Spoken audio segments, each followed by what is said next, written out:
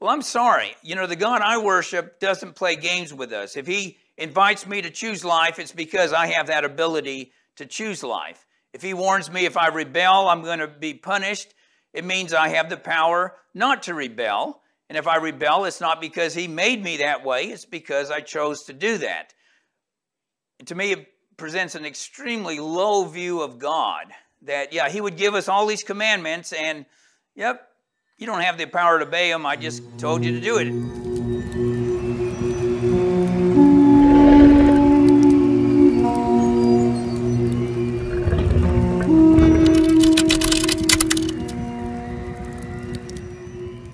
Well, good morning to everybody. Hopefully, I didn't scare people off last week. We got, uh, I get very animated when I think of Martin Luther and uh, some of his failings. On the other hand, uh, he did break things open with the Catholic Church, and I thought this week, you know, who knows? Maybe I wouldn't even be a Christian if it wasn't for uh, his having been there. Uh, I'll leave his situation in God's hands. But we're going to go through some more on an introduction to Romans. Next the next message, we're going to actually get into Romans, but uh, a little bit more background if we're going to understand it the way it was historically understood before Martin Luther and actually before Augustine before him. So this is part two. Just real briefly, uh, this is a real brief history of the relationship between the Jews and the Romans. You know, we started in the New Te- in the Old Testament uh, the Protestant Old Testament, yeah, there's no Romans, you know, and you start with Matthew and suddenly there's Romans. And, and where did they come from? How did that happen? Well, yeah, with our Orthodox Study Bible, I think now most of us are a little bit more familiar uh, with that. But it goes back to the Maccabees. Uh, the book of Maccabees not in the Protestant canon. It was in the original King James. It didn't get taken out until the 1800s. Beyond question, a historical book that even secular historians recognize for its accuracy. Here's somebody's imaginative artwork of uh, Judas Maccabeus leading the Jews against the uh, army of the Greeks, um, who controlled that part of the world, including Palestine and uh, eventually he and his brothers won independence for the Jews. Anyway, this is from 1 Maccabees 8, verse 1. I remember reading this for the first time because this was a real surprise to me because I knew, of course, I had never known anything about the Maccabees, but I had no clue how the Jews and the Romans got connected. And I, I still remember reading this, 1 Maccabees 8, 1. Judas, this is Judas Maccabee, had heard of the reputation of the Romans. They were valiant fighters and acted amiably to all who took their side. They established a friendly alliance with all who applied to them. So I had not realized this about the Romans at that time. Since then, yeah, they that that was one of their strengths and why why they grew. They tended to treat uh, people well, were very uh, eager to make alliances with people, and they were able to totally overthrow the Greek Empire plus some others. So uh, Judas sent a, a delegation to Rome, and they asked to make an alliance. And this is what we read. You can read the whole chapter when you go home. The proposal pleased the Romans and this is a copy of the reply they inscribed on bronze tablets and sent to Jerusalem to remain there with the Jews as a record of peace and alliance. And then it gives what was on the tablets. And basically, uh, each side would come to the aid of the other. That uh, if the Jews needed the help of the Romans, the Romans would come and help them to my knowledge, that never happened against the Greeks, and the Jews would come and help the Romans. Of course, the Romans hardly needed their help, so it was more, I guess, goodwill on, on paper.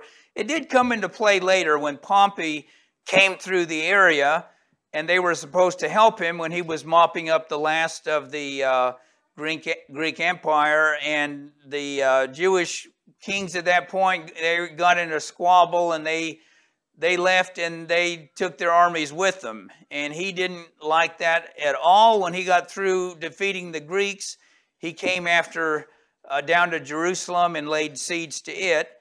And the Romans took control of Judea. But they still they didn't view the Jews as this conquered, subjugated people. They still viewed them largely as allies, as under their authority, but not as their enemies. They granted them a lot of privileges, such as, such as exemption from military service. They were exempted from worshiping any of the Roman gods.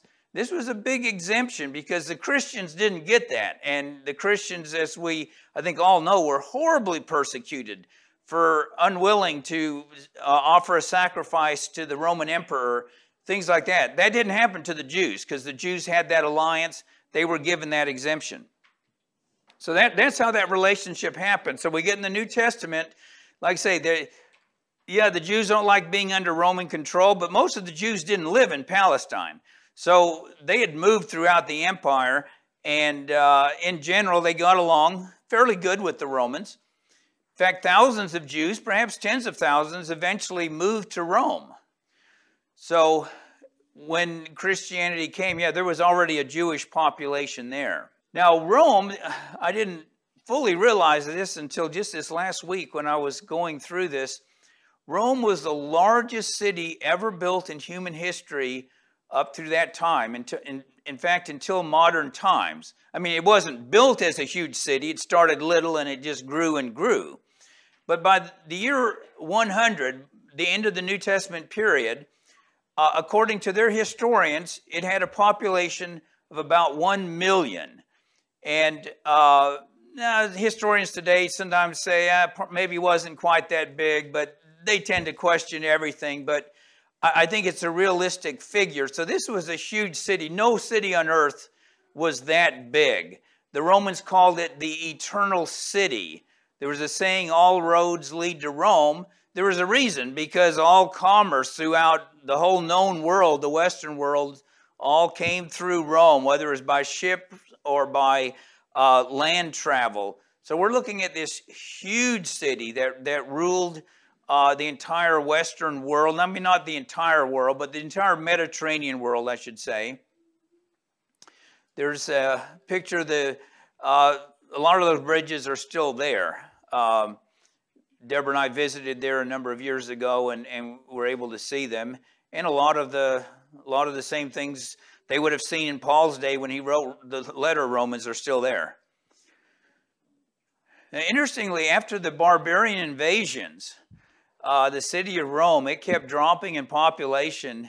It dropped all the way to 30,000 or maybe even less, just a, a little bit bigger in Chambersburg. Um, that's yeah, what happened when, when the uh, different barbarian tribes sacked it, took over, and people moved out. Fact, it would have probably disappeared if it hadn't been for the Christians, would be, would be my guess.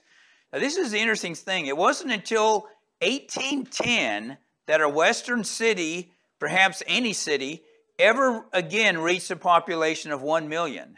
And that was the city of London. So that gives you just an idea of just how amazing this city was when Paul writes a letter to the Romans. It wasn't like he, when he was writing uh, to the Colossians or, or something like this. This was a little on a different scale. This was a huge place that so much of the world looked up to. All right, now let's just talk a second Again, we're just trying to get a little background for the, the letter of Romans, the founding of the church in Rome. Unlike so many of, of the churches uh, in the uh, ancient Mediterranean world, it was not founded by any of the apostles. It goes back to the day of Pentecost. And they were all filled with the Holy Spirit and began to speak with other tongues as the Spirit gave them utterance. And there were dwelling in Jerusalem Jews, devout men, from every nation under heaven. And he goes on to list them. I'm not going to read them all. Phrygia and Pamphylia, Egypt, and the parts of Libya adjoining Cyrene. Now, notice this visitors from Rome, both Jews and proselytes. Proselytes were Gentiles who had become Jews, Cretan and Arabs. And then this is them speaking. We hear them speaking. These are the ones who were given the gift of languages we hear them speaking in our own tongues the wonderful works of God. Here's an artist's uh, depiction of that. This is Peter addressing the crowd. So, from what we know, we don't know this positively, but it's almost everybody's uh, assumption from back to the days of the early church that it was those visitors who had gotten baptized there uh, on the day of Pentecost or thereafter. It says they were visitors. They weren't living there in Jerusalem, they were visiting. That they went back to Rome and they took Christianity with them. And it could have been the Jews who did it, it could have been the proselytes who were Gentiles. It was probably both of them. My guess is from the very start, you had a church there made up of both Jews and Gentiles. But the first Gentiles there would have been ones who had adopted Judaism, lived by the law, uh, uh, practiced circumcision, everything.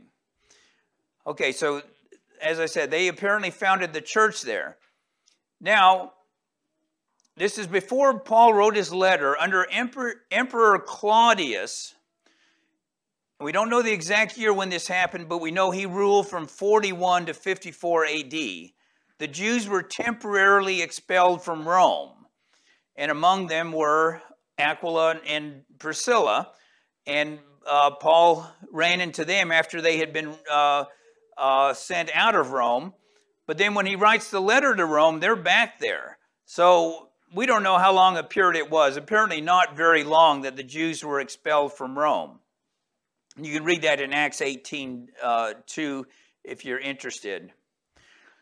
Okay, now we talked last week. Luther made the book of Romans, he tried to make it the central book of the New Testament. To a large degree, I'd say he succeeded, at least among Protestants. Now, when we go in our Bible, you go through the four Gospels, they're first, and then Acts, and then you get to the book of Romans, which tends to emphasize, is, you know, Luther's thing. This is right at the beginning.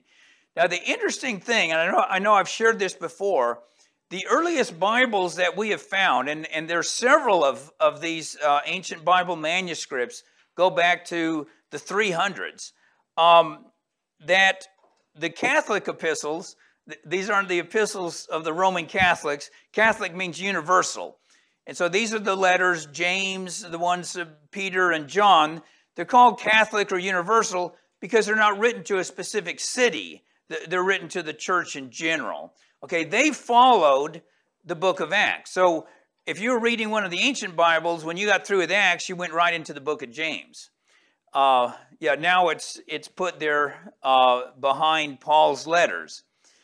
Now, the book of Hebrews, we were talking last week that you know uh, Luther made a big point trying to convince everyone Paul did not write this letter, but in the ancient Bibles, the book of Hebrews, the epistle to the Hebrews, is right there in the middle of Paul's letters. It, it appears right after Second Thessalonians before you get to the pastoral epistles.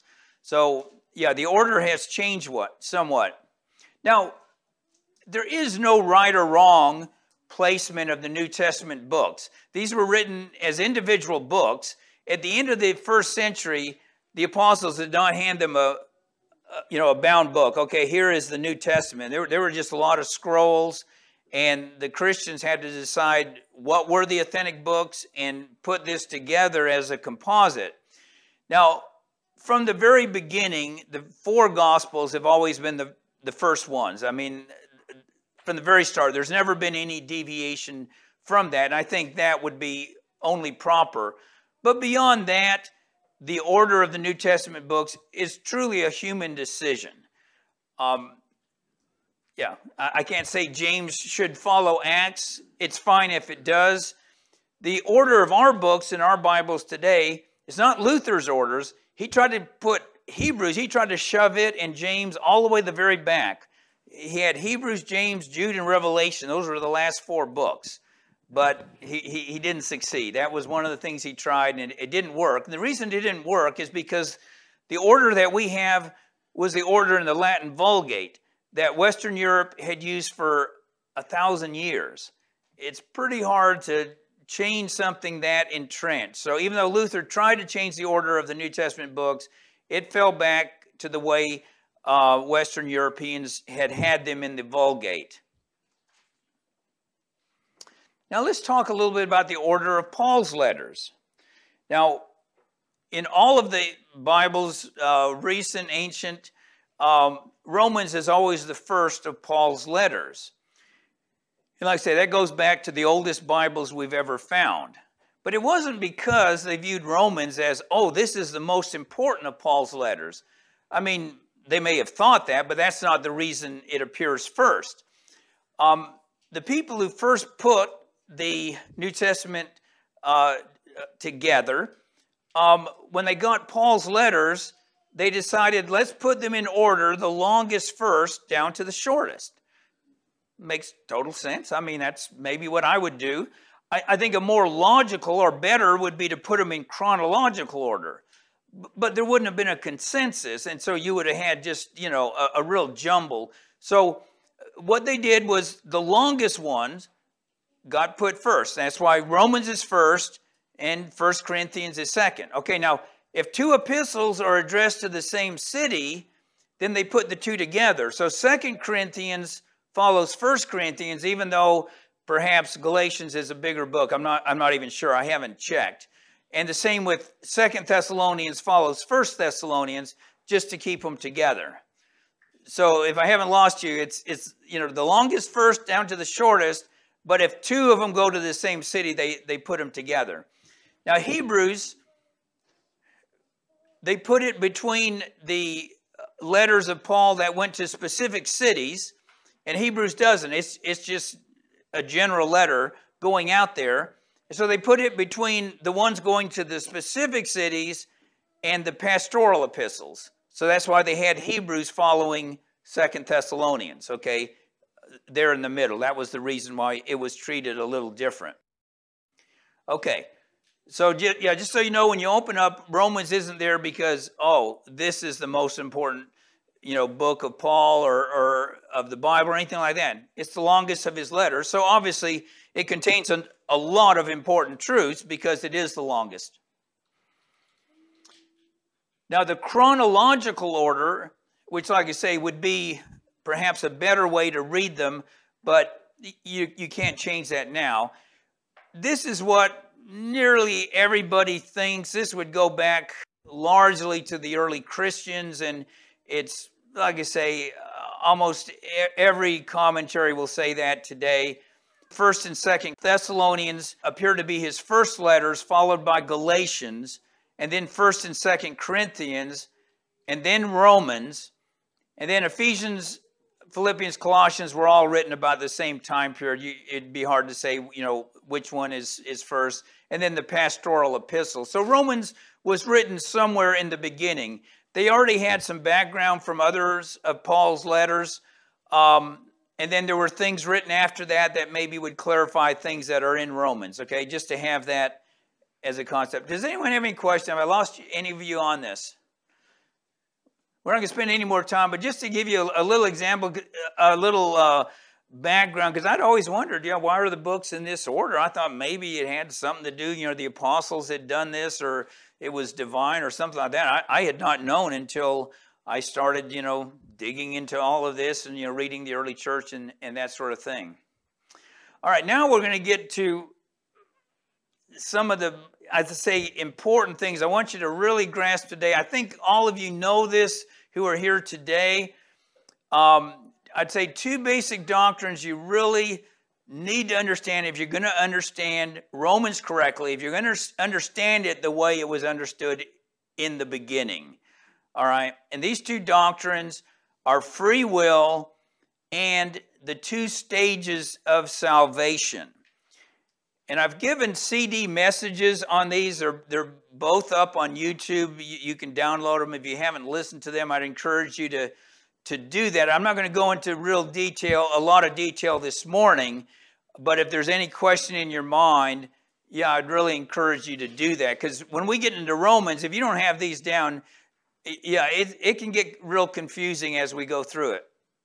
Okay, as far as what the early Christians believed about free will, they believed that all humans have free will to choose to obey God or not to obey.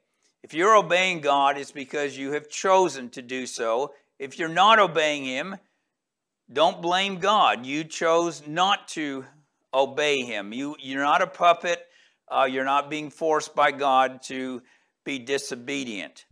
We have the ability to choose to believe or not to believe. Now, this is true both before and after the fall. Now, Luther would have said, oh, yeah, we had free will before the fall, but after the fall, no free will. After that, everything is predestined. If we're saved, it's because God predestined us to be saved. If we're lost, He predestined us to be lost. Nothing we can do to change any of that. Now, after the fall, humans have not had the ability to obey God perfectly. I think we all know that. And I mean, if we said anything differently, uh, we'd all know that's false doctrine because we all know from experience we do not obey God perfectly. But we do have the power to obey Him generally. Now, God has perfect foreknowledge of the future. So He already knows who's going to believe and who isn't going to believe. He already knows among us who are going to walk faithfully to the end of their lives and who, hopefully, none of us here present, but who among the body of Christians today are not going to endure to the end, are going to give up before they reach the end. But his foreknowledge is not the cause of our believing. It's not the cause of our obeying or enduring. He knows it, but he's, he's not the cause of it. I mean, a good example last Thursday night, Christmas Eve, the uh, all the weather channels. Um, if you looked, you know, on the internet or, or if you get an email on your phone, text message, whatever, they all said it's going to get warm uh, on Thursday afternoon up into the 50s. Then we're going to get a lot of rain which would mean the snow would melt from both the warm temperatures and the rain. We would have flooding. Now, they weren't just guessing, they had radar showing all of these systems coming. And they hit that pretty much right on the mark. Now, but they didn't cause it.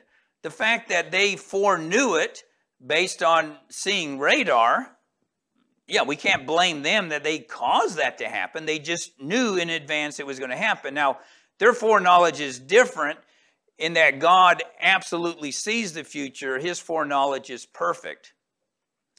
And then finally, God is in ultimate control of the universe. Free will doesn't mean, oh, God has no power among humans.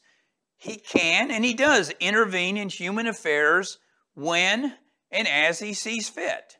So God is still ultimately in control, but because of free will, he allows many things to happen that aren't his desire, but he doesn't micromanage things here on the earth. He could, but that's not his desire. His desire are, are for humans to have free will, which means some humans are going to do evil things.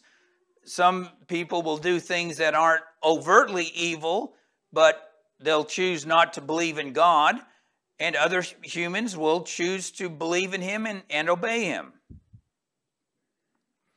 Here are a few of the scriptures the early Christians quote many, many times, and they quote it when they're discussing Romans.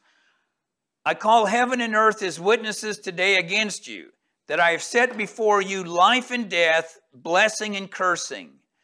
This is God talking. Therefore, choose life that you, both you and your descendants may live. I believe that's God. It's either Moses or God. It's in Deuteronomy 30. So they're given the choice. God tells them through Moses or personally, choose life that you may live. So they had the ability to choose. And they could choose not to have life. And many of them made that, that choice. In Isaiah, we read, If you are willing and obedient, you shall eat the good of the land. But if you refuse and rebel, you shall be devoured by the sword. The choice was theirs. They could be obedient if they wanted to, and they could rebel if they wanted to. Free choice. It's there all throughout the scriptures. I'm not going to read all of the verses. Like I say, if, if you want more evidence, um, I invite you again to listen to the message I've done on that. Plus, there's all kinds of books written as well. We'll just jump to the end, Revelation 2.10. Be faithful until death, and I will give you the crown of life. Now, he's, in, he's encouraging them to be faithful, exhorting them to be faithful. Well, if they don't have the ability, there's no point in Christ saying that. And um, if they do have the ability, that's why he's encouraging them to do it, but it's not a given. It's why he's telling them, be faithful, then I will give you the crown of life. In fact, every verse in all the Bible that commands us either to do something or not to do something is proof we have free will. Now, Luther says no. The fact that God told the Israelites choose life didn't mean they had the power to choose life. Well, I'm sorry. You know, the God I worship doesn't play games with us. If He invites me to choose life, it's because I have that ability to choose life. If He warns me if I rebel, I'm going to be punished, it means I have the power not to rebel. And if I rebel, it's not because He made me that way, it's because I chose to do that. And to me, it presents an extremely low view of God that, yeah, He would give us all these commandments, and yep, you don't have the power to obey them. I just told you to do it. How would you feel if your parents told you to do things, you know, that you don't possibly have the power to do? If your dad said, Pierre, I want you to go, you know, drive the car to the grocery store and, and bring us back some milk, and then got on you when you didn't do it, you know? I mean, yeah, you'd, you'd say that's not very fair. Uh, I think all of us would, would feel that way. Now, what a lot of people don't realize, belief in free will was one of the major teachings that set Christians apart from pagans. Because pagans believed in predestination. They believed all human actions are controlled by fate or by the gods. Their view was, yeah, we're puppets. These gods are up there. They're deciding what we're going to do. The Christians are saying, no, we have free will. We decide whether we're going to obey or not to, to obey. And so that was one of the big differences between the Christians and the pagans. They're having to debate the pagans about this. The other one is belief in free will set apart Orthodox Christians from the Gnostics. Because the Gnostics taught that we're predestined to either salvation or damnation. So a lot of the discussion of Romans in the early Christian writings is they're having to explain Romans against the Gnostics who are taking Romans and saying, see, we're predestined. We can't help it. We're either made for salvation or we're made for damnation. It's in God's hands. And the Orthodox Christians are saying, no, that's not the way it is. Okay, the other thing I said we need to understand are the two stages of salvation. Now, these things are true of both stages. Nobody can save themselves, no one can earn their salvation. We are saved through the grace of God. Salvation is a gift, but, and here's what is usually left off it is a conditional gift. All right, so stage one, there are two stages. Stage one, we are saved by grace through faith at the time that we, one, believe in Christ, two, repent of our sins, and three, are baptized. No prior works are required. You don't first have to do a bunch of good things before you get baptized, before you believe in Christ.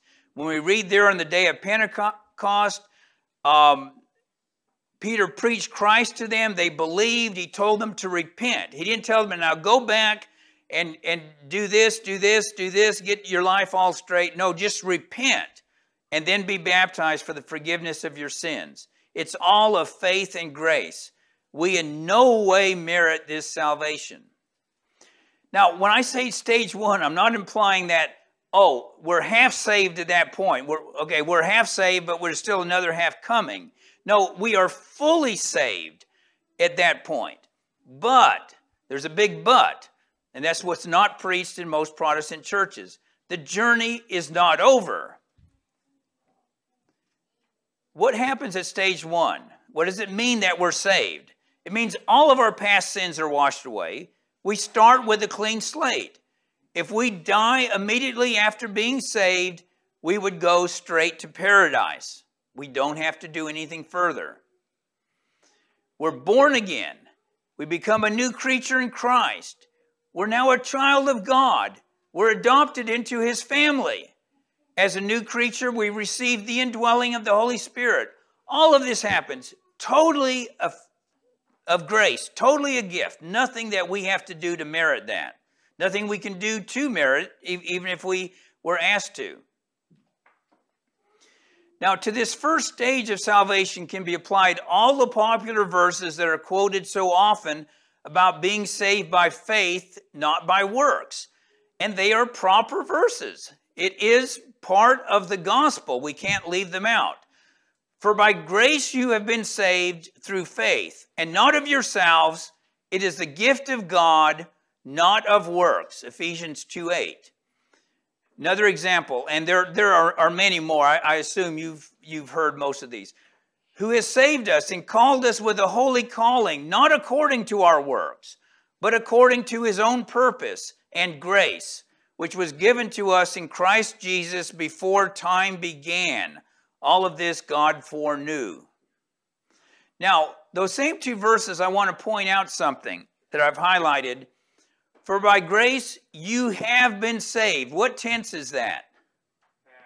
That is past tense, or maybe even past perfect, okay?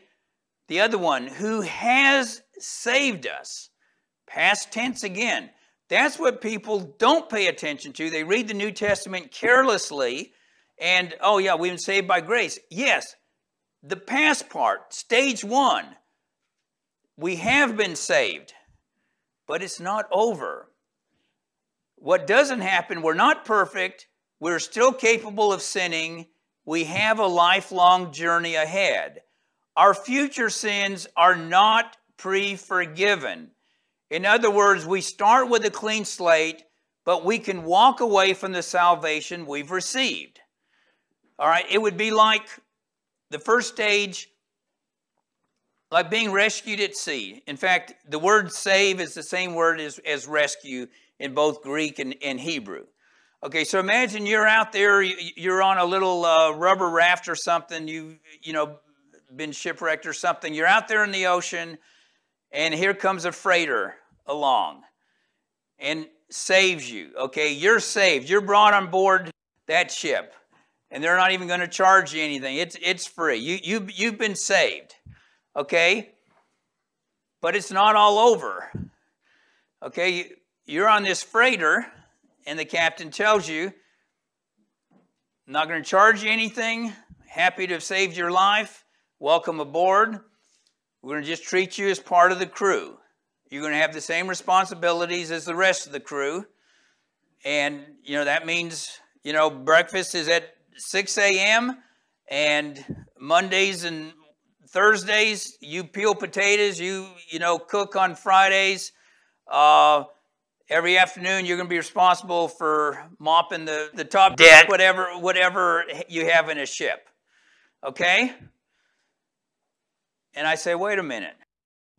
You don't understand. I'm an attorney. Okay, I, I don't mop, you know, decks. I don't peel potatoes like I'm a common seaman, you, you know. And captain says, well, you either do what everyone else does or you can get off the ship. And I decided, you know, when I was in that little raft, no one told me what to do. I could sleep as late as I wanted, didn't have any chores. I'm going to get back in my raft. That's the way salvation is. We don't want to walk as citizens of God's kingdom, He doesn't make us. Um, we can jump back out, we can serve Satan again. And as absurd as it is, that's the choice a lot of people make. Other people just refuse to live by God's requirements, and they're having, they're, they have to be put out. Okay, so stage two of salvation is we have to retain our saved condition by holding fast to our faith maintaining an obedient love faith relationship with Christ. We must endure faithfully to the end of our earthly life. It's not all over. We are saved. We don't have to add anything to that, but it's not over. We now have to walk faithfully to the end of our life. And I'm saying all of this because you're not going to get Romans if you don't understand these two stages, because Paul talks about both stages throughout Romans, and he goes back and forth between the two. We do not have to live perfectly, God only expects from us the obedience and love that an imperfect human can give. William Law points this out. He says, God doesn't expect from us the obedience of an angel. He doesn't expect from us the obedience of a perfect human. He only expects what we imperfect humans can do. But he does expect that. Yet God assists us all the way in our Christian walk. If we abide in him, he gives us the power. We don't have to do this in our own strength. We're not left on our own. So he not only saves us, but he's there to help us all the way, but not as a puppet master. We're not puppets. We still have the free will to obey or, or not to obey. It is still a struggle, and that's what Jesus said it would be. Here are some of the verses that are so often not ever quoted when we talk about salvation. And these are talking about the second stage. He who endures to the end will be saved, future. So there's a past stage, you have been saved, and Jesus talks about a future. You will be saved if you endure to the end. Not everyone who says to me, Lord, Lord, will enter the kingdom of heaven, but he who does the will of my Father in heaven. You don't have to do it before you're saved, except to repent, but you do after you're saved.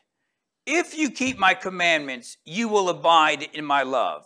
You don't have to keep his commandments before you get saved but you do afterwards if you want to abide in his love. Matthew 25, Jesus, our judge, tells us what it's going to be on Judgment Day, how he's going to decide who's a sheep and who's a goat. He will set the sheep on his right hand, but the goats on the left. Then the king will say to those on his right hand, Come, you blessed of my Father, inherit the kingdom prepared for you from the foundation of the world.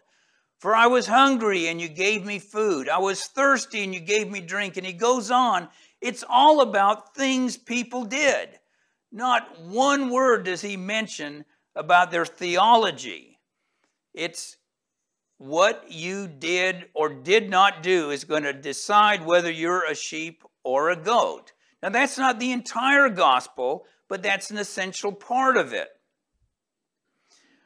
I am the true vine, and my Father is the vine dresser. Every branch in me that does not bear fruit, he takes away. So we have to be bearing fruit. If anyone does not abide in me, we read earlier, if we're going to abide in his love, we have to obey his commandments. He says he is cast out as a branch and is withered, and they gather them and throw them into the fire, and they are burned. So it's not all over once you get saved. That's just the beginning we now have a life of faithful walking with Christ Jesus. Now, that's not something awful, that's something wonderful. That, wow, we get to be children of the Heavenly Father. We get to be citizens of God's kingdom. It's a privilege to do this, but there's a responsibility as well. Now, this, you know, Luther wanted to keep John in there among the Gospels because of John 3 16 and some other ones, and everyone knows that. No one seems to have ever heard of John 5 28 and 29, which is surprising. This is Jesus talking. The hour is coming in which all who are in the graves will hear his voice and come forth. Now, listen to this those who have done good to the resurrection of life, and those who have done evil to the resurrection of condemnation. Again, he says, on your resurrection, it's going to be based on what you did in your life, okay? Not ruling out the need of faith, not ruling out the need to be born again. Assuming all of that has happened, yes, then what have you done with your life since then? If you lived evil, it's going to be to a resurrection of condemnation. That's what Jesus is saying. Notice this next one, Paul from Romans. It says, He will render to every man according to his works. And someone will say, well, what he means there is you're going to have a better reward in heaven based on your works. Well, keep reading what Paul says. To those who by patience and good works seek for glory and honor and immortality, he will give eternal life. So, no, he's not talking about greater rewards and privileges.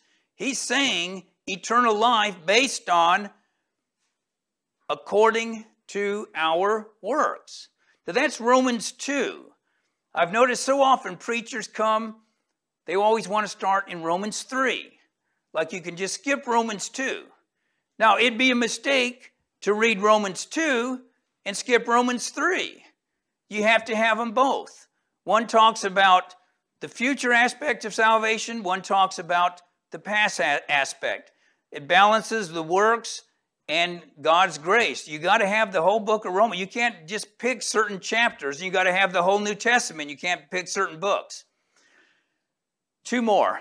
For this you know that no fornicator, unclean person, nor covetous man who is an idolater has any inheritance in the kingdom of Christ and God.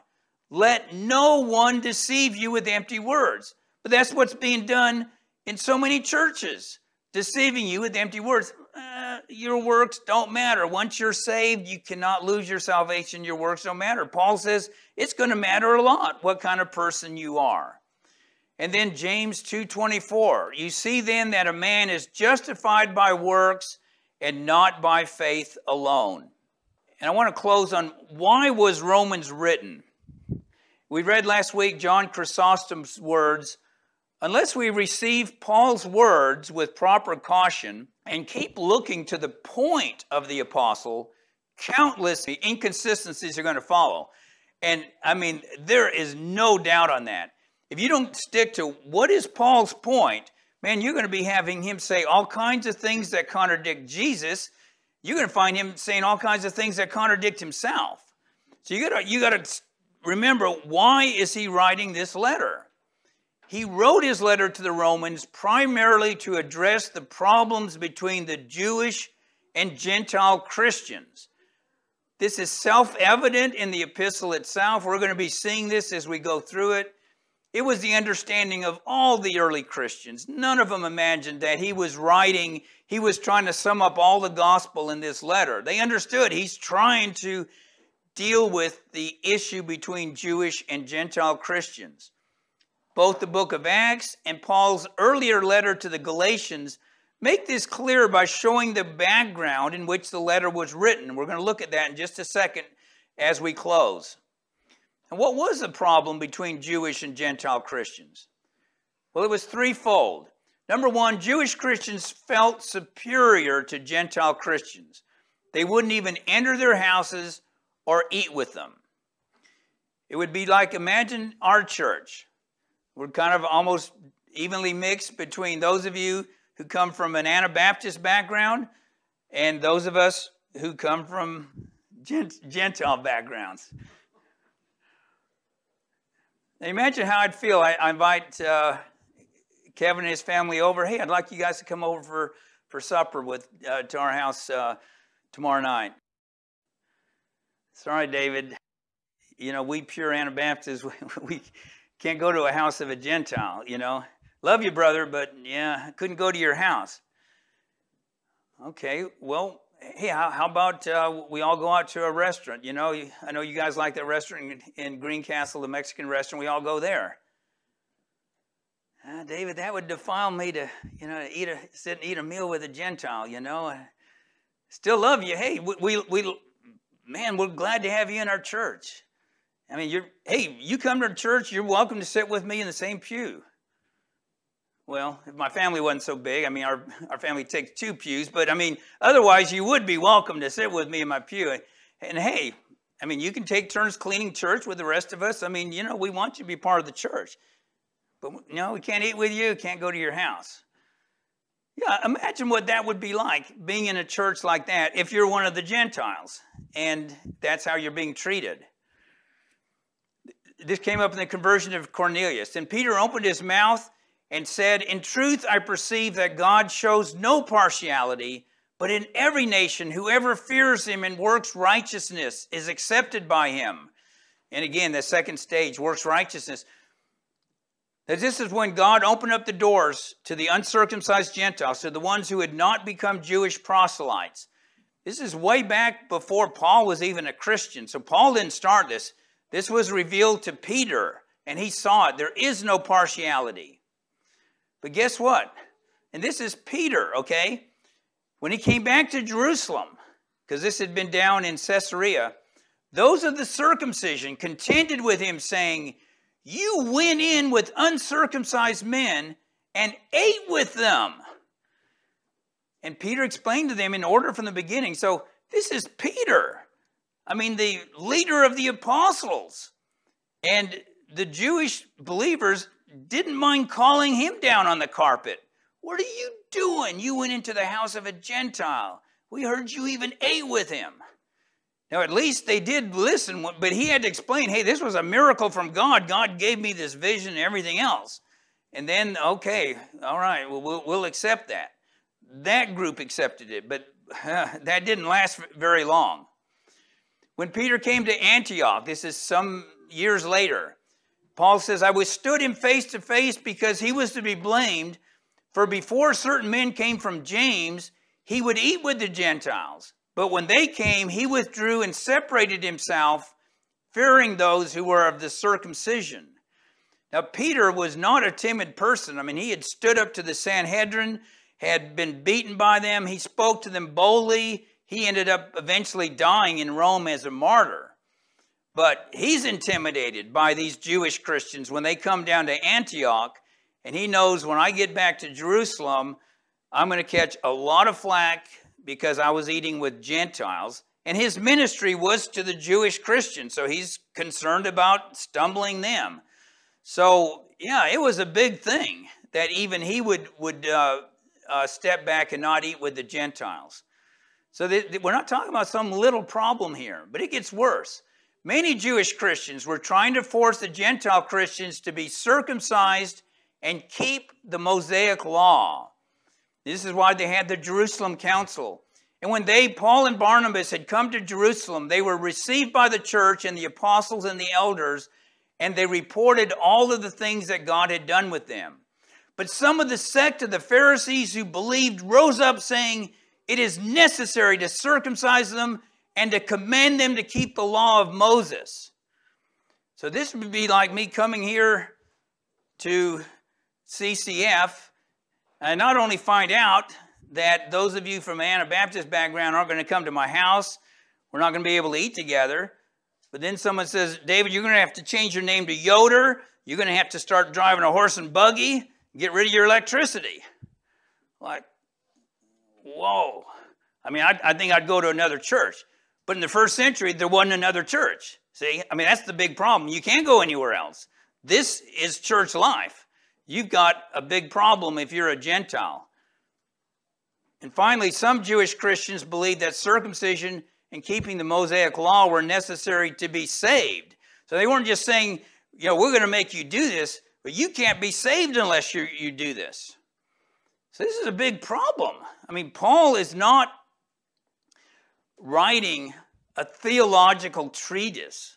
He's not writing a tract on how to get saved. He's dealing with a very real, practical problem, an extremely serious problem with huge repercussions for the Gentiles that needed to be addressed. He was the apostle to the Gentiles. It was primarily his responsibility to see that the Gentile Christians were being treated equally along with their Jewish brothers. So that's why he wrote the book of, of uh, Romans. Now, his letter does shed a lot of light on various theological matters and a lot of light on the two stages of salvation. So there's a lot of meat in there. But why he's writing it is because of this problem. We can't lose sight of that, or we're going to get really mixed up going through Romans. So, with that introduction, in the next message, which will be a month or more from now, we're going to get into Paul's letter itself, starting with Romans 1, verse 1. By the time we finish Romans, I think you're going to have a new appreciation for what this epistle means. I'm going to have a new one because, like I said, I've been going through it. I started in September, and that's eh, every bit of my time. That is what I have been doing. I'll be working on it for the next year to grasp how the early Christians understood it and to hopefully be able to put that in easy to understand language for everyone else. But first, I've got to get it where I'm fully understanding it. But it's, it's finally coming together for me, and it's been very exciting to see oh, wow, this letter makes so much sense. And what you'll see is how Romans fits so perfectly with the gospel of Jesus, with the letter of James, with the rest of the New Testament. There are no verses that when we get through you're going to have to hide. No books of the Bible. Oh, yeah, that one you, you don't pay attention to. No, it all fits together as a harmonious whole. And that's the wonderful thing. Okay. Any questions? I don't have any questions, but I was um, really inspired. I, I, last week I listened to Finny's um, sermon on Assurance of Salvation. I think it was the fourth one. He talks about selective obedience and how humans are tended, tend have a tendency to be selective in what they obey. And I was thinking, in light of this, when we go down the whole road of selective obedience, like this kind of starts this whole thing, it actually undermines our assurance. And yet there's this tendency that they selective obedience creates better assurance because we really latch onto something, but we end up missing something vital. It's like the two-stage understanding of salvation. And so it's, it's really important, I think, to step back and get get the whole picture of, of, what is. And when we do uh, learn to walk in ways that we're we uphold all the things that are important to obey, not selective obedience to pick one and make that the huge thing and then miss all these other ones. Um, I, think it makes us much more um, assured in our in our salvation of what to do. So I was just thinking of that. Like, I. Yeah. So, and of course, that's why people went to the easy believism because Jesus did give us some hard commandments, and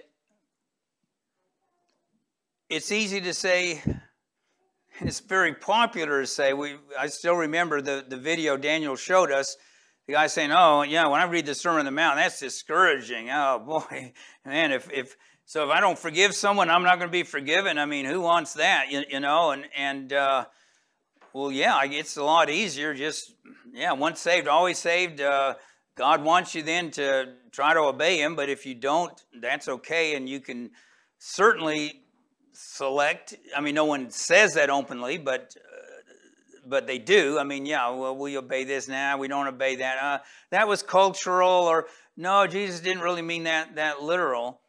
And you know, I was attracted to the Anabaptists because I saw that they were taking so many of the commandments seriously that all the churches I had been in had had ignored. Um, but we aren't immune either. Uh, and I know that was Finny was alluding to, to that, that, you know, we can be selective too. We might obey, you know, 85%, but then we, there's ones that, you know, we as Anabaptists tend to ignore as well. So, yeah, we, we don't need to think that, yeah, the, the battle is over with, the journey is over. Uh, as long as I fit in as a good Anabaptist, that makes me uh, means Christ is pleased with me because he may not. You know, if we're not obeying him, it doesn't matter what label anyone puts on us or that we put on ourselves. It's either we are an obedient child of God or, or we're not. That's the only label that, that matters, and that we're walking faithfully with Christ or we're not walking with him. So, yeah, I'm glad you said that because I hope as a church that, yeah, we never get uh, satisfied with uh, selective obedience of, okay, we're just going to ignore that command. I know we're going to fall short. I mean, it's not a matter of, wow, you know, if we're, if we're not perfect, it's, it's, it's, it's all out. But when we just decide we're not going to obey, that's where I think we really are going to incur the displeasure of God. That I'm sorry, I'm just not going to obey that one. Uh, it doesn't work that way. Now, I may try to obey, I, I may do my best as a fallen human and fall short. And if I repent of that, it'll be forgiven. But if I just decide, no, I'm not going to obey, uh, and there's nothing in the scriptures to indicate that that is going to be forgiven if we're going to rebel against God. If you like this message and want to hear more like it, go to Scroll Publishing's website and check out all the different books and audio messages available. Scroll is a place for people who are seeking the truth, who are looking for the historic faith, who don't want spins or complicated interpretations. And don't forget to like, subscribe, and share this video with others. Thanks. God bless.